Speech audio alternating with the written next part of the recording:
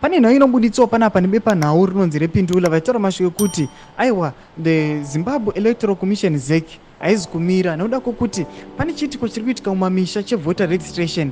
Hachisi kuzikamwa hachisi kupublicizwa munhau but chiitiko chiri kuita chikureza masuspicions sana pena mashuka buda nyogwa notobva wasubscribe olike on the bell like kuti ivina monyogwa muchinzi the zimbabwe electoral commission zek is conducting a voter registration blitz targeting rural, rural areas where ZANU-PF has historically dominated in past elections, but the, uh, the process is reportedly being carried out without the usual public announcement.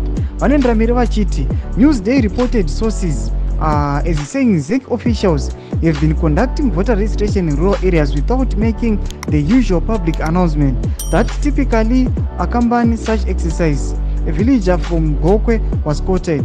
Ndomasvika vari kuona panapa tichiti zvinzwa vakomana venewsday vanova chiexposa nayo kuti aiwa pane nhau yevoter registration iri kuitika aiwa kumarural areas.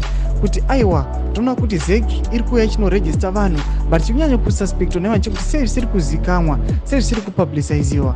Sezvinongozikamwa mumakore apfuura kuti zimbabwe inonzi yakaita mafraud elections. Panapa vanhu vanenge vakufunga kuti aiwa these guys vakutopevha their way kuti vanyatso kutopefecta parigging process yavo. Tinoona vakomana venewsday vari kuya vachiti zviri kureza masuspicions kuti sei siri kuzikanwa nevanhu sei zviri kuitawo muchivande. Tiudzei mafungiro enyu muri kudii pamusoro pechiitiko ichi. Ndinyakomei section medu sanosubscribe olaika on the bell icon